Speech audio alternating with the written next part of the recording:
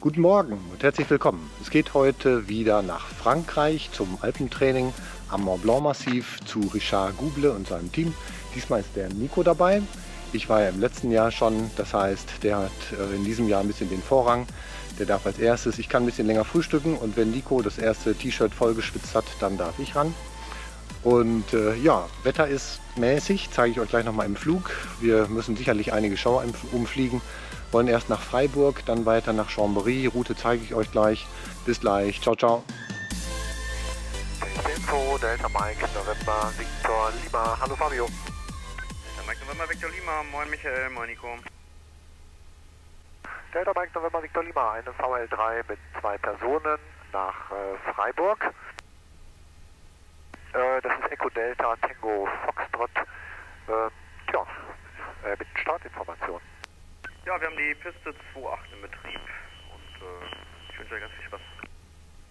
Piste 2.8, vielen Dank. Delta Mike, November, Victor Lima. Das Abenteuer beginnt. Ich zeige euch mal eben hier das Wetter und die Route. Wir fliegen jetzt erstmal östlich an Dortmund vorbei. Dann wir ein kleines bisschen weiter Richtung Westen, um zwischen zwei etwas größeren Regengebieten durchzukommen. Und wenn wir das hinter uns haben, wird es darunter deutlich besser.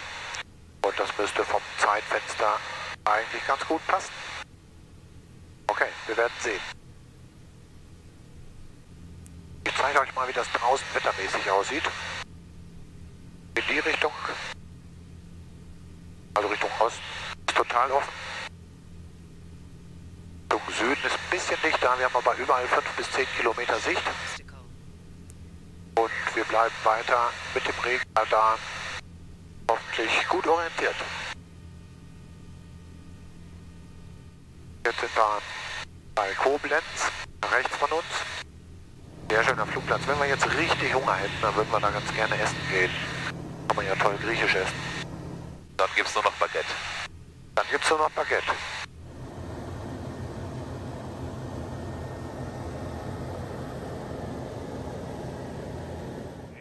Wir sind mittlerweile ein bisschen höher auf Flight Level 115. Ja, interessantes Wetter. Ob ihr es glaubt oder nicht, wir waren immer VFR, immer. Aber das war schon heute ein bisschen anspruchsvoll.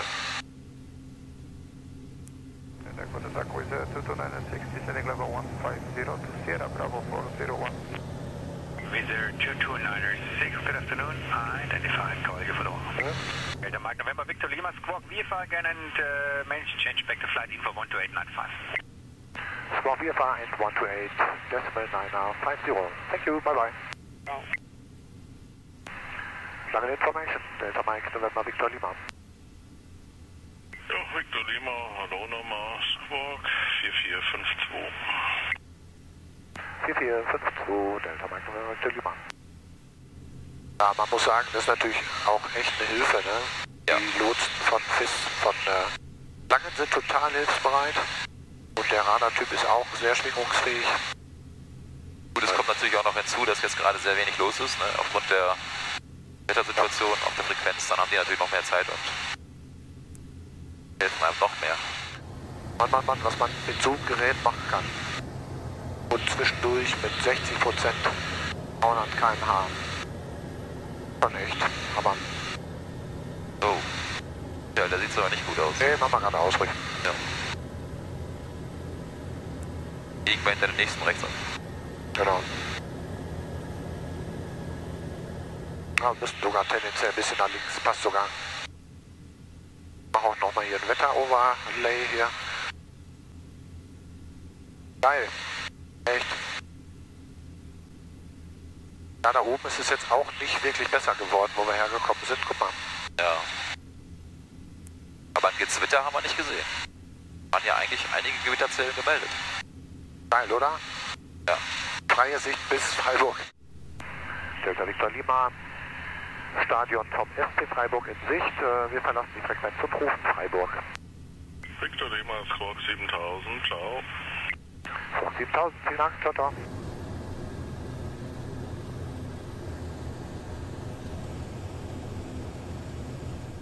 Victor Lima, Wind aktuell aus dem Südwesten mit 1,0 Knoten und Böen bis 2,0 Knoten.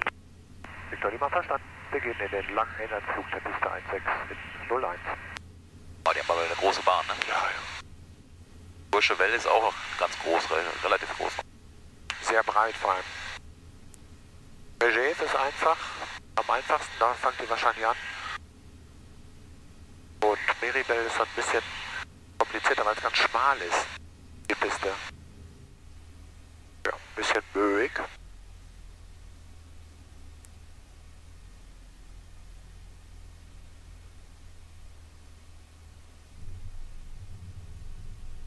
Sehr schön gemacht.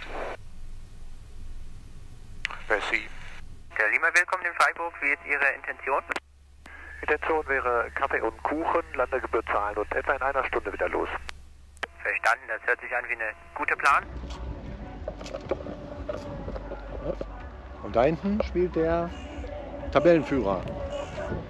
Ich will mal nicht sagen, der zukünftige deutsche Meister. Das glaubt, glaubt glaube ich, keiner so richtig. Wir haben Aeropels. Oh, ach so.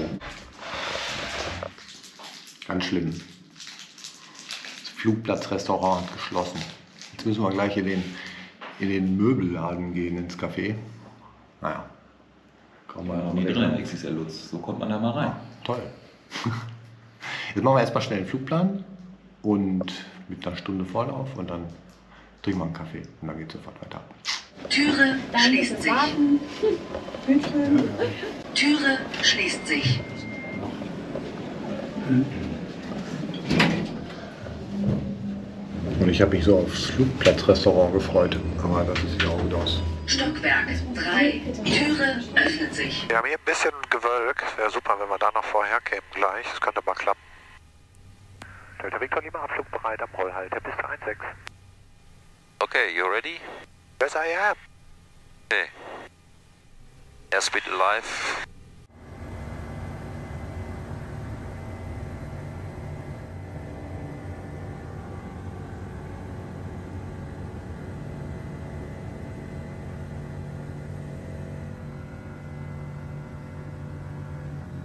Ja, nice. Der Victor Lima, Flugplan aktiv um 2,5.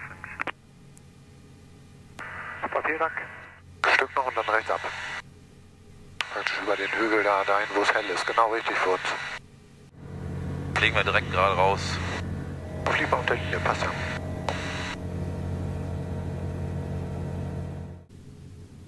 Delta Mike November Victor Lima, uh, squawk 3450, QNH 1018.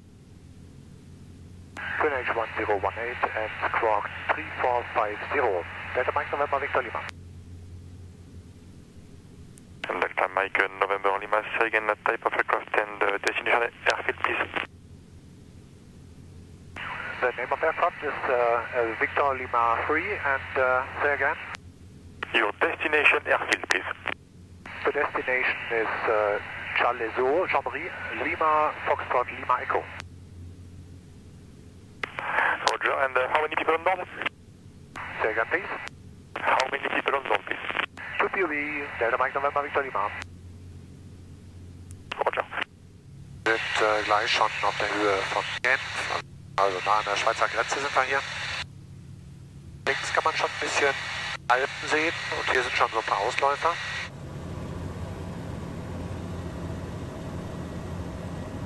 Oh ja, kann man sehen. Fox Hotel Juliette Delta Alpha. Delta Alpha, j'écoute. Delta Alpha, un trafic avant 11h de nautique, route opposée. Hier haben wir ein bisschen Bewölkung, ziemlich finster. Eigentlich müssen wir Licht anmachen jetzt. Kleiner Scherz. Aber passt. Da hinten ist wieder schön hell. Ich zeige euch das mal. Wunderbar. Le transpondeur 3430, QNH 1018. Schön Asche. Das ist sehr erotisch. Toll, machen wir nochmal hier. DA20, Kai donc Liebe, destination Mitschnitt. Alençon et le nombre de personnes à bord? Merci Juliette Kilo. Das muss man ja gleich irgendwann nach links so ein bisschen, ne? Ja. Frage ist nur wann. Dass wir so ein bisschen gucken wegen den Mountains. Das Blaue ist die Route vom letzten Jahr. Fliegen eigentlich die gleiche Route ab, hat letztes Mal gut geklappt.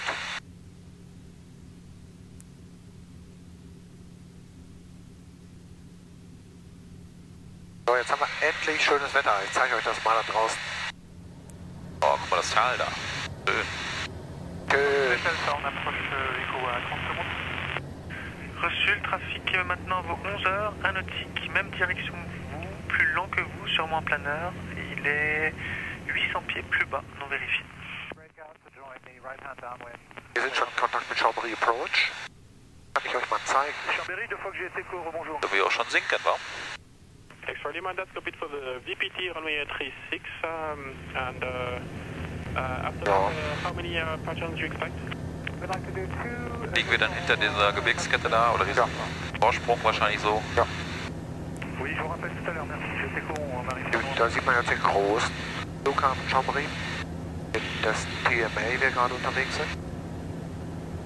Und dann müssen wir ein bisschen links rüber und hinter dem Berg liegt der kleine. Victor Lima, so we transit via Echo Yankee and then Sierra Bravo to join uh, Charles Lezo. Is that possible for you? Hoffentlich sehr gern. Uh, a transit via Echo Yankee and then Sierra Bravo. Is that, um, is that- does that uh, suit you for uh, joining uh, Charles Lezo Lima Fox Lima Echo? Echo Yankee and next one waypoint is? Uh, Sierra Bravo. Wo ist denn Sierra Bravo? Noch nicht gesehen. Ah, da ist Sierra Bravo. Okay. 77, 51, correct Victor Lima, Sierra Bravo, request to leave your frequency. Delta Victor Lima, Squawk uh, VFR 7000, leave frequency and uh, do not forget to close your flight plan uh, once on the ground. Bye. Very close our flight plan. Uh, Squawk VFR, thank you, bye bye. Charlie Sohn, Delta Mike, November Victor Lima. Vertikal bei Sie. Pour atterrissage. Terrain, terrain. In der Platzrunde eingezeichnet? So, drei grüne. Das Pass auf mit dem Berg da bitte, ne? Ja, ja, ja. Ich drehe vorher schon ab jetzt. Terrain. Pull up. Ah, nee. Pull up, pull up.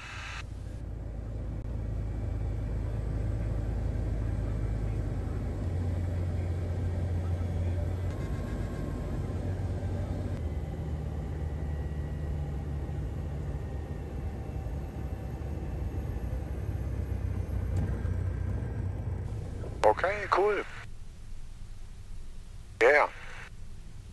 Welcome to France. Geil. Freu mich. Wir sind da! Geil. Schön gelandet, super. Ah, Freuen uns.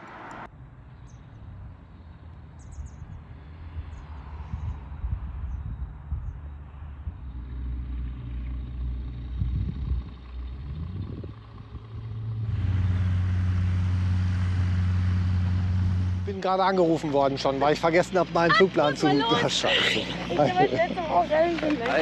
Hallo. Begrüßung haben wir hinter uns. Jetzt sind wir wieder in unserer Absteige, wo wir letztes Jahr auch waren. Ich nicht. Ah, Aber so richtig schlecht ist es hier auch nicht. Nicht? Wir werden sehen.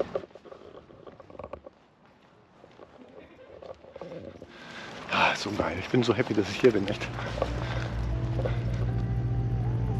Ja, das war's für heute. Vielen Dank fürs Einschalten. In den nächsten Wochen gibt es immer mal wieder Impressionen vom diesjährigen Training. Abonniert meinen Kanal, damit ihr nichts verpasst. Ansonsten gibt es in der Playlist vom letzten Jahr detaillierte Anflüge von allen Flugplätzen, die beim Flight Training angeflogen wurden. Schaut einfach mal rein. Vielen Dank, bis bald. Ciao, ciao.